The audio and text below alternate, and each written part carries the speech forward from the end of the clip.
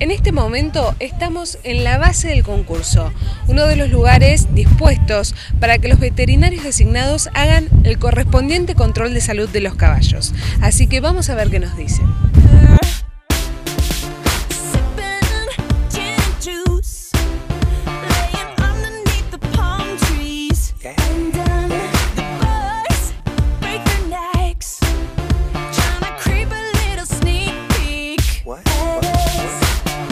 Estamos junto a Marta Moya, presidenta de la Comisión Veterinaria. Le vamos a, preguntar, por supuesto, sobre el control veterinario. ¿En qué consiste? Bueno, se evalúan se evalúa el aspecto metabólico y los andares. ¿sí? El caballo ingresa a la línea, no, lo que voy a evaluar son si tiene movimientos intestinales, si está bien hidratado, color de mucosas y después se lo hace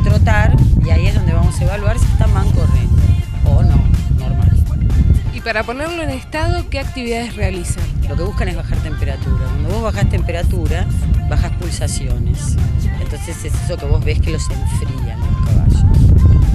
Fue un día frío y húmedo. Entonces hubo caballos que durante las horas de la mañana estaban con mucho frío. Con mucho, mucho frío. ¿Por qué? Bueno, la temperatura era baja y había humedad, entonces por ahí no hacía falta enfriarlos tanto. ¿Qué te pareció la carrera en general? Me encantó. Es la primera vez que vengo acá, pero el lugar me, pareció muy lindo, cómodo, hay espacio. Este, las líneas de los que están impecables, tienen la distancia que tienen que tener y sobre todo cómodo, cerca de la ciudad, pero muy, muy cómodo. La palabra creo que es esa, para trabajar y demás.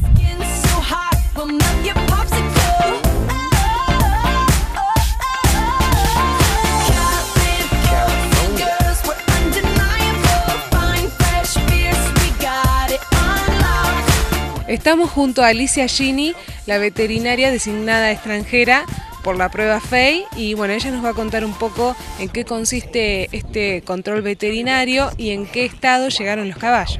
Bueno, buenas tardes. Eh, el control veterinario que se realiza en este tipo de prueba eh, es después de cada fase, o sea, de cada etapa que se corre, según la distancia, son la cantidad de, de etapas que corre el competidor y hay un chequeo general de la parte metabólica como también de la parte mecánica que es con respecto a las claudicaciones. Cualquiera de las dos que esté mal el caballo pueden ser eliminatorias, ¿no? Después de, en algunos casos, una opción de un rechequeo antes de que largue. Y en la prueba esta de 120 que se desarrolló hoy, la mayoría de los caballos están culminando, eh, lo han hecho en, buena forma, digo, porque se ha visto que han entrado a un ritmo de galope la mayoría. En cuanto al control, a las razas y a los concursos, ¿notas diferencias con respecto a tu país y este? No, digo, son dos países que empezaron bastante juntos a realizar este tipo de pruebas. Eh, además, em, en las pruebas mm, FEI, digo, se respeta un mismo reglamento que existe para todo este tipo de competencias. Puede ser que haya alguna diferencia cuando vas a, mm, pruebas que son nacionales o en zonas que recién empiezan con, con este tipo de competencia. Bueno, muchas gracias por la información. No, me decías ustedes, chao.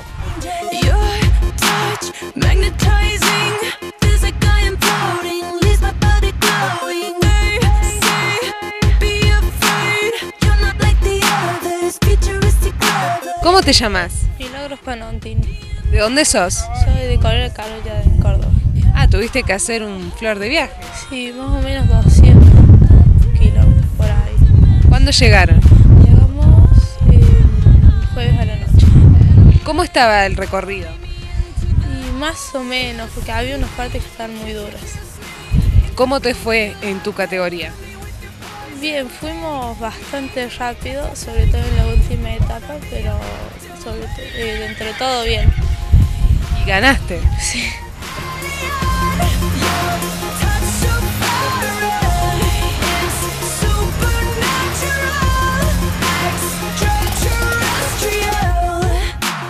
¿Cómo te llamas?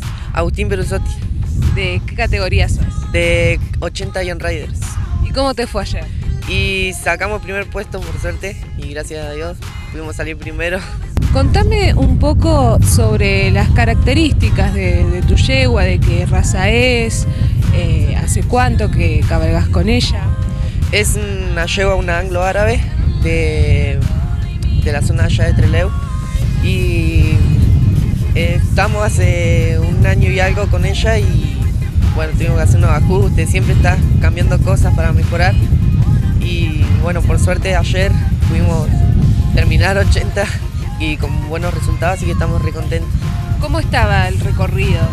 El recorrido era lindo, era por los campos, tenía, era un camino blando, había una parte que pasaba por un puente donde había un río, un arroyo, y estaba bueno, era, era divertido y tocó un día re lindo con 26 grados, 23, andaba ahí rondando, y mucho calor hacía, pero todo bueno. Muchas gracias y desde ya los felicitamos desde el cobertizo por, por haber obtenido el premio, por participar y por hacer tan largo viaje con la familia que siempre acompaña y que los hacen llegar a todos lados. Sí, bueno, gracias a ustedes y fue un gusto, estuvo bueno.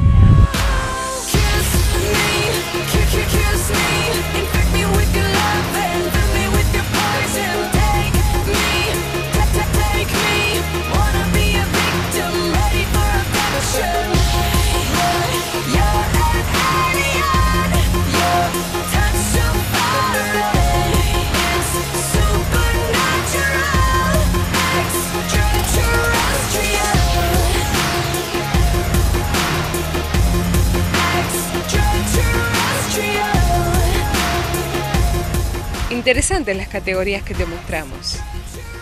Y el Endurance tiene eso. Por eso te invitamos a seguir viendo más imágenes la semana que viene. Chao, hasta el próximo domingo.